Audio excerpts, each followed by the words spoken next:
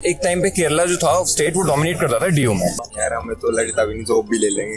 Average salary आपके course करने के बाद पंद्रह बीस? फेस्ट वगैरह बहुत ही घटिया होते हैं निहायत ही घटिया पढ़ने के मामले में अच्छा है। अगर आपको स्टडीज़ के लिए आना है तो यहाँ पे बेस्ट है। अगर आपको कॉलेज लाइफ एंजॉय करना है तो आपको नॉर्थ कैंपस जाना चाहिए। इस एपिसोड में मैं रिव्यू करूँगा दिल्ली यूनिवर्सिटी के मोस्ट कंफ्यूज कॉलेज का।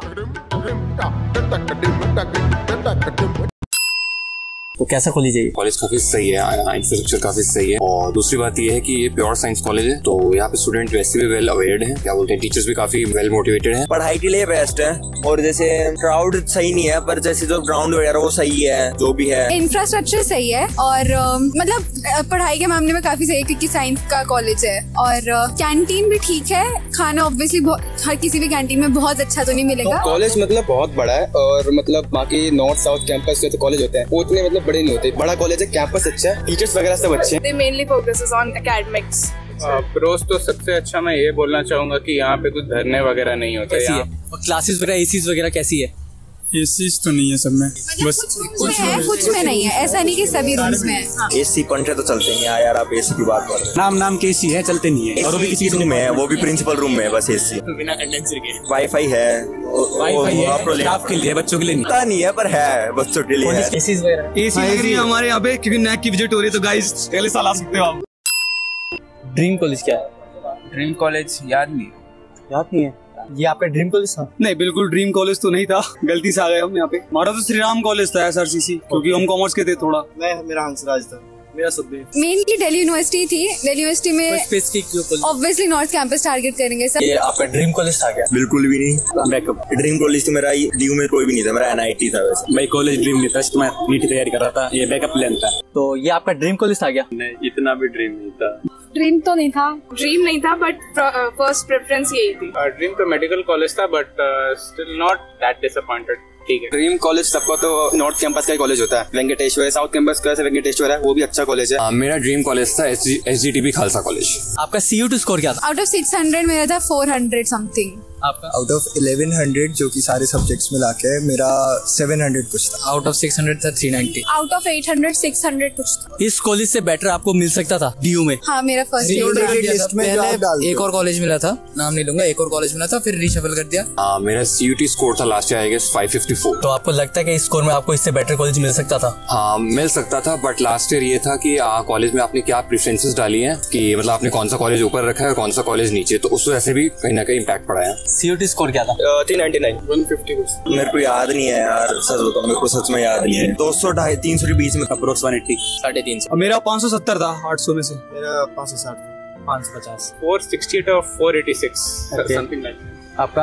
अलग अलग परसेंटाइल के बेस पे था तो bio 98.7 percentile and physics and chemistry 97 percentile bio 96.5 इतना याद है नाइन्टी सेवन नाइन्टी एट सारे। इस कॉलेज में आपको एडमिशन लेके आपके लिए रेगरेट फील तो नहीं करते आप? नहीं नहीं नहीं कभी भी नहीं बिल्कुल नहीं। आपको लगता है वर्थ इट है? वर्थ इट तो है वो वैसे अभी पता नहीं है इतना अभी मैंने इतना रिसर्च किया नहीं। लेकिन कोर्स लिया तो वर्थ इट तो होना चाहिए। तो आपको कभी रेगरेट फील हुआ है इस कॉलेज में आगे?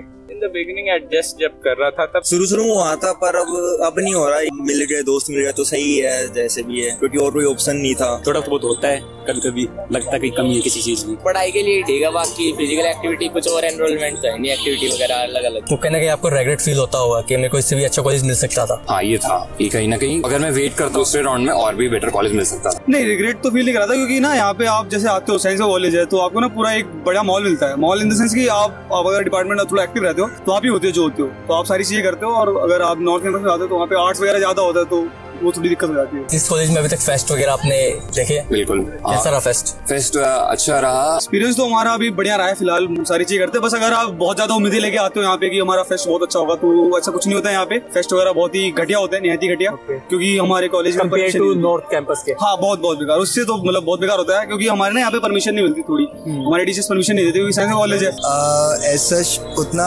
ज़्यादा मतलब जैसे कॉलेजेस होते हैं कल्चरल फेस्ट उस टाइप का नहीं है। हाँ जो डी में सोसाइटीज जो सोसाइटी से उतने एक्टिव नहीं है मतलब और कंपेरिजन में साइंस कॉलेज है तो थोड़ी एक्स्ट्रा करिकुलर एक्टिविटीज़ और फेस्ट स्पेशली थोड़े से कम as compare to other colleges off campus college है तो इस वजह से फेस्ट वगैरह थोड़े से कम।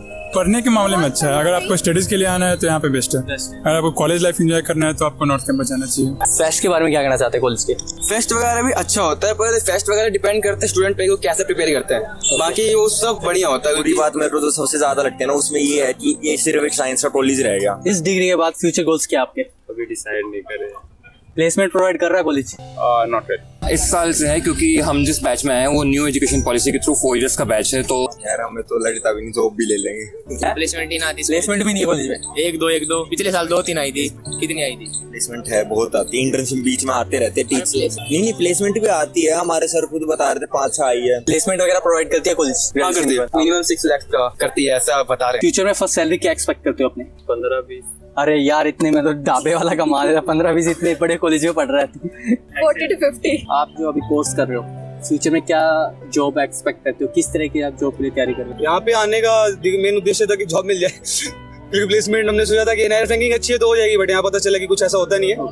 तो अगर आपको इंजीनियरिंग में थोड़ा सा इंटरेस्ट है और आपका बीटेक में एडमिशन नहीं हुआ तो सीएस करो फिर बढ़िया है। स्पोर्ट्स के लिए अच्छा है ये कॉलेज हाँ स्पोर्ट्स के लिए अच्छा है। इसका प्लेग्राउंड भी बड़ा होगा काफ़ी। एनसीसी वगैरह है? एनसीसी नहीं है। स्पोर्ट्स पे ज़्यादा ध्यान नहीं दिया जाता। कुछ भी नहीं दिया जाता पढ़ाई के अलावा कुछ भी नहीं है। जो कोई बेचारा स्पोर्ट्स वगैरह से एडमिशन लेने के इसमें चक्कर है तो उसके लिए ठीक है। बढ़िया। बर्बाद है स्पोर्ट्स रिलेटेड बिल्कुल नहीं है स्पोर्ट्स के लिए। मेल टू फीमेल रेशियो क्या है? Classes almost equal boys girls का क्या रेशियो है क्लासेस अगर आप सीएस में आ रहे हो तो बहुत कम है। दूसरे डिपार्टमेंट में अच्छा है। सिक्सटी टू में ट्वेल्व गर्ल्स हाँ सीएम सीएस का कम है बाकी और दूसरे डिपार्टमेंट जाओगे तो उसमें अच्छा है तो आ सकते हो। आपकी क्लास में कितनी लड़कियाँ कितने बॉयज़ हमारे में तो अट्ठाईस बच्चे हैं ना तो उनमें से चार लड़के चार लड़कियाँ? मैक्सिमम हाँ? और वो भी ऐसे जो देखने का मन ही नहीं करता दो तीन लवर्स पॉइंट भी है कॉलेज में सही में। तो कपल्स वगैरह के लिए अच्छा कॉलेज है। आउटसाइडर तो आसपास का पीजीज वगैरह अवेलेबल है ओनली फॉर गर्ल्स के लिए? हाँ बहुत ज़्यादा है बहुत ज़्यादा है। आपके कॉलेज में आने के लिए मिनिमम सीयूटी स्कोर क्या होना चाहिए?